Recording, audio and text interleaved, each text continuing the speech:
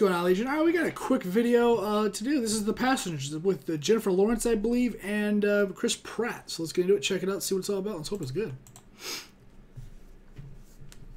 I don't even know what this is. Like, something creepy? Futuristic? Hmm.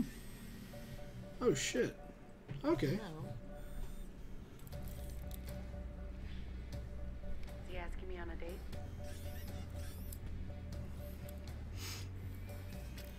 She didn't seem that impressed.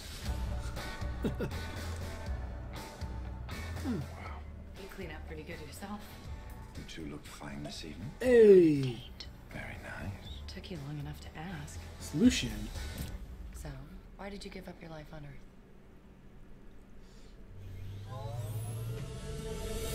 Oh, shit, dude. This looks like it's gonna be insane. the Avalon with a destination.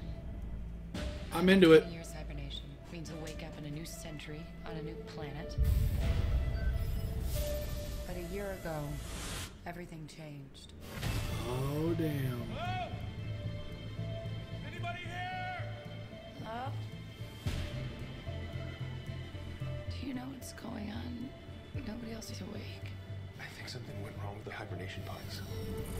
We woke up too soon. Oh, sh- Years too soon. oh, Jesus. We can't.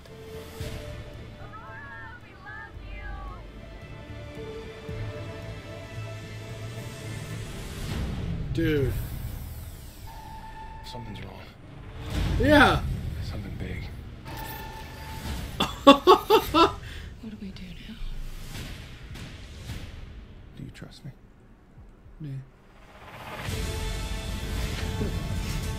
Now that's a sun.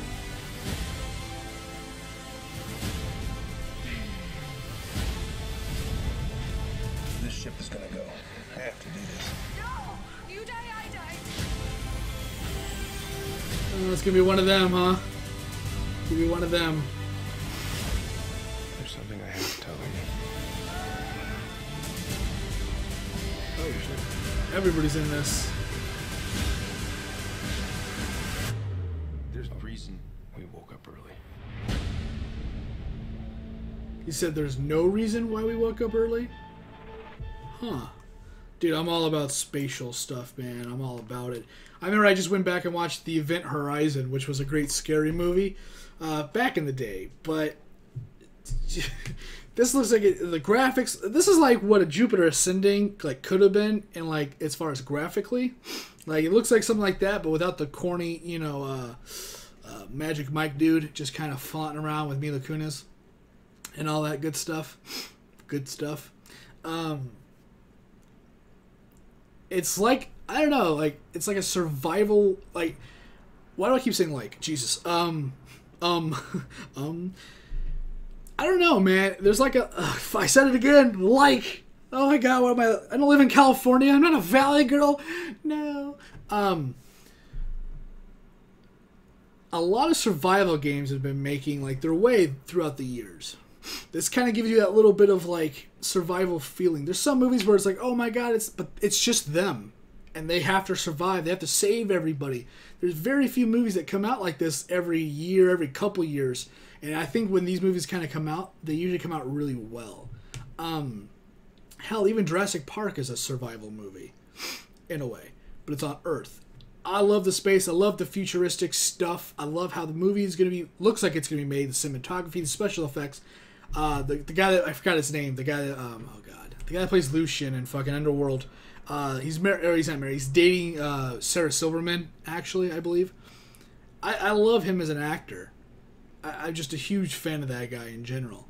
Um, yeah, I just I don't know what else to say, man. It looks like it's gonna be an incredible movie. It's gonna look incredible. It's gonna have like probably this really nice ending.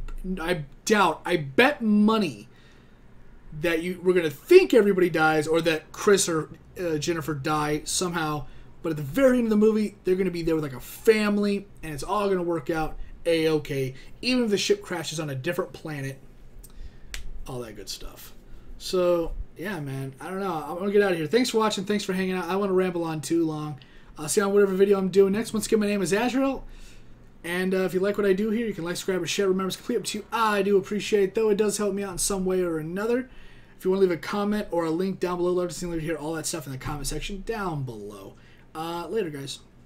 Bye.